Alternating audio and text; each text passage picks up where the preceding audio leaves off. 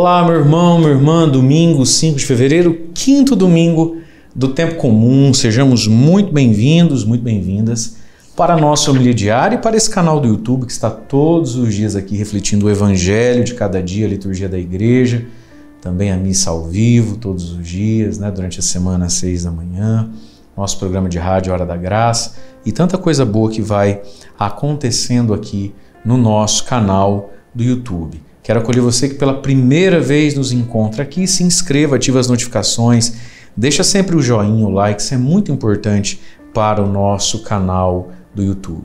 E para você receber tudo isso aí no seu celular também, na descrição do vídeo tem grupo de WhatsApp, tem grupo de Telegram que fica melhor para você. Entra aí dentro, tá bom? E você vai recebendo todo o conteúdo que a gente vai produzindo e fazendo todos os dias também é, diretamente aí no seu WhatsApp, tá bom? Vamos ao Evangelho então, desse quinto domingo. A igreja proclama para nós o Evangelho de Mateus, capítulo 5, versículos de 13 a 16, diz assim: Naquele tempo disse Jesus a seus discípulos: Vós sois o sal da terra. Ora, se o sal se tornar insosso, com que salgaremos? Ele não servirá para mais nada, senão para ser jogado fora e ser pisado pelos homens. Vós sois a luz do mundo? Não pode ficar escondido uma cidade construída sobre um monte. Ninguém acende uma lâmpada e a coloca debaixo de uma vasilha, mas sim num candeeiro, onde brilha para todos os que estão na casa. Assim também brilha a vossa luz diante dos homens, para que vejam as vossas boas obras e louvem o vosso Pai que está nos céus. Palavra da salvação, glória a vós, Senhor. Irmãos e irmãs, o Evangelho de hoje nos diz a nossa identidade a nossa missão nossa identidade, somos o sal, é a nossa essência, o nosso conteúdo, o sal do Evangelho, da doutrina da igreja, o sal do Espírito Santo, da unção. Nossa missão, ser luz para iluminar. Mas nós estamos aqui em Mateus 5,13. O que aconteceu em Mateus 5, do 1 até o 12? Começamos hoje em Mateus 5,13. O que aconteceu até Mateus 5,12? Domingo passado bem-aventurados. Aí Jesus falou das bem-aventuranças. Portanto, quem é que é sal e luz? Os bem-aventurados. As bem-aventuranças do domingo passado, de Mateus 5, do 1 ao 12. Talvez valesse a pena você pegar sua Bíblia e dar uma olhadinha agora, enquanto vai ouvindo o padre aqui. É tudo aquilo ali, a vivência das bem-aventuranças, que faz com que alguém possa ter sal, que faz com que alguém seja luz, Portanto, os bem-aventurados são salgados e iluminados, né? e são as bem-aventuranças que nos salgam, que nos iluminam. E aí Jesus vai dizer: Vós sois, está dizendo aos seus discípulos, vós sois o sal da terra, né? o sal que protege, o sal que dá sabor, o sal que era muito utilizado para que as coisas não apodrecessem, né?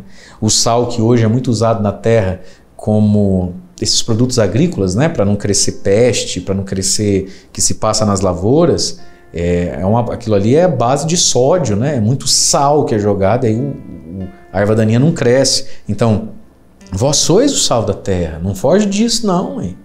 E quem é que é o sal da terra? Os discípulos. Quem que é discípulo de Jesus? Ele está falando aqui para aqueles que abandonaram não só o pecado, ele está falando aqui para aqueles homens que abandonaram o pecado, para homens que não faziam coisas erradas, mas os discípulos eram também pessoas que, junto com deixar o pecado, deixaram direitos, deixaram a própria vida. E Jesus está dizendo: vocês são o sal da terra, são vocês que salgam as realidades. Quem é discípulo, quem fez renúncias por amor a Jesus, por amor a Cristo, por amor à igreja, em favor da humanidade. Esse é o sal da terra. E a gente sabe que numa receita, numa comida gostosa, a menor porcentagem do que ali está é o sal, não é isso? É um quilo de farinha, três colheres não sei do que, sei quantos ovos e sal. Meio quilo de sal? Nada. É um tiquinho de sal. Então, o discipulado, ele é mesmo algo assim que parece que não é para a maioria, né? Quer dizer, a vocação de modo mais próprio, é isso que eu quero dizer. Jesus está dizendo para esses que se tornaram discípulos, ou seja, para esses que abriram mão de si mesmos, renunciaram à própria vida. Vocês são o sal dessa terra. Gente, isso aqui é o mistério da santidade de cada um de nós. Isso aqui é, é, é, o valor da santidade de cada um de nós. Isso aqui é o valor das almas consagradas. se essa vida tem sal e tem sabor, se as pessoas hoje, nas suas festas e correrias e lutas e desafios, conseguem ter uma vida com algum sabor e esperança, conseguem com que, as, que suas vidas não se apodreçam, não se estraguem, é porque existe um sal ali. Quem é esse sal? Os discípulos, os que se consagraram a Deus. Esse é o valor quando a gente pensa, por exemplo, num Carmelo, num mosteiro. Esse é o valor daqueles que no silêncio, na simplicidade também do dia a dia, vivem uma consagração muito radical, muito profunda a Deus. Olha o que Jesus está dizendo. Você que me escuta agora, né? nós que somos consagrados a Deus pelo sacerdócio, aqueles que são consagrados a Deus pela, pelos votos da vida religiosa, vocês são o sal da terra. Se tem gente que às vezes nem crê em Deus, mas a vida dele tem algum sal, algum gosto, ah, mas nem reza. Sim, esse sal que toca mentes e corações e que eles nem sabem identificar o que seja ou de onde vem, vem dos discípulos, dessas dos corações santos, das almas santas consagradas a Jesus, espalhadas pelo mundo. Sim, é muito maior o volume das farinhas, dos ovos, dos fubá, não é, dos recheios, mas sem o sal. Esse é o valor da vida consagrada de cada um de nós. Né? Mas aí também, num segundo momento, o discípulo, às vezes, que não foi chamado a se consagrar totalmente a Deus, mas que é chamado a ser discípulo de Jesus no cotidiano da vida, nos afazeres da vida, no matrimônio, no, né, na, nas profissões, no, nas pastorais, no serviço missionário da igreja, da evangelização. Vós sois o sal da terra. Só que aí Jesus vai dizer de um risco.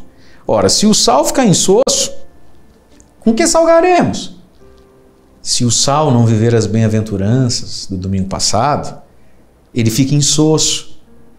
Com que salgaremos?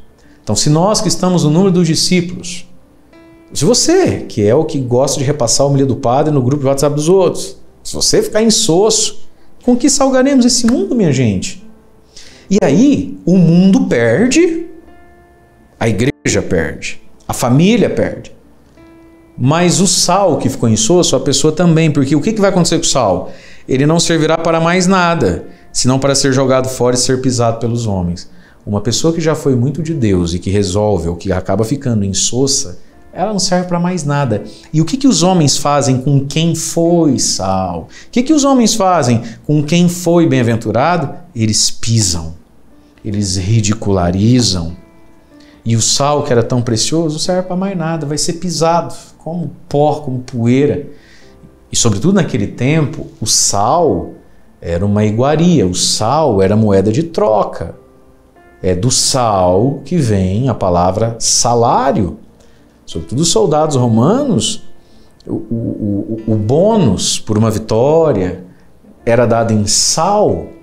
E aí eles, nas províncias onde iam, negociavam o sal. É daí que vem a palavra salário. Então, quando Jesus fala isso aqui, sal para nós hoje talvez não possa valer muita coisa, mas no tempo de Jesus, sal era o salário, sal era moeda. Sal era dólar, amigo. Sal você troca, às vezes ele vale mais, às vezes ele vale menos. Você pode conseguir coisas com um tanto de sal, porque era muito difícil extrair o sal. E Jesus está dizendo: vocês são tão preciosos, mas se vocês ficarem sossos porque abandonam as bem-aventuranças, você vai de sal, você vai de coisinha linda do Padre preciosa, algo a ser descartado e pisado. Que coisa triste. Vós sois a luz do mundo. Ora, não pode ficar escondido uma cidade em cima da montanha. Pode? Não pode. Ninguém acende a luz para botar debaixo da cama, não é? Então, assim também brilha a vossa luz diante dos homens. Portanto, a gente tem uma missão diante do outro. Diante dos homens é o outro que faz parte da nossa vida. Alguns de nós estamos diante de muitos, de milhares de homens e mulheres. Outros de nós estamos diante de marido e dois filhos, irmão de comunidade, não importa. Brilha a vossa luz diante dos homens. E o que é fazer brilhar a luz? Disse Jesus. Para que vejam. Verde Palmeiras. Para que vejam as vossas boas obras e louvem, não a você, mas louvem ao Pai que está nos céus. Gente, esse mundo está necessitado de ver boas obras. Boas obras em favor do próximo. Primeira leitura da missa né, de hoje, Isaías 58, 7 a 10, reparte o pão com o faminto, acolhe em casa o pobre, o peregrino. Quando você encontrar um nu, cobre e não faz e não despreza a carne dele não. Então brilhará a tua luz e até a tua saúde melhorará. Quando invocares a Deus, ele te ouvirá. Veja, vai dizendo aqui a palavra, né? Se acolheres de coração aberto o indigente. Coração aberto para acolher um indigente. Se prestares socorros a um necessitado Nascerá nas trevas a tua luz, e tua vida obscura será agora como um meio-dia? Gente, às vezes pode, pode ser, né? Que a gente sinta aspas, inveja, admiração. Nossa, falando tem uma luz. Você quer essa luz? Você acha bonito? Então você não queria ter? Comece a reparar que essas pessoas talvez sintam, pensem, reajam, interpretem diferente de você, que não tem tanta luz, esses temas pão, pobre, peregrino, nu, indigente, necessitado. É aqui que está a luz. É aqui que está a luz. A miséria do outro. A miséria do outro, às vezes, é o fósforo que veio para acender a luz que há em mim ou não há em mim, né? De onde é que vem essa luz? É preciso rezar? Sim. É preciso fazer adoração ao Santíssimo? Sim. É preciso fazer quaresma, dia 22 começa? Claro. Mas se a gente não reinterpretar o que vem a ser repartir o pão, se a gente não reinterpretar como a gente pensa, sente, acolhe, se relaciona com um faminto, com um pobre peregrino, nu, não sei se a gente vai ter luz, né? Então, queridos, a luz somos nós e esse mundo está necessitado de luz. Esse mundo está necessitado de ver boas obras para que Deus, o Pai do céu, seja glorificado. Que nós possamos ser pessoas tão salgadas e iluminadas pelas bem-aventuranças que Deus seja mais amado, desejado e conhecido. Deus abençoe você. Em nome do Pai, do Filho e do Espírito Santo. Amém.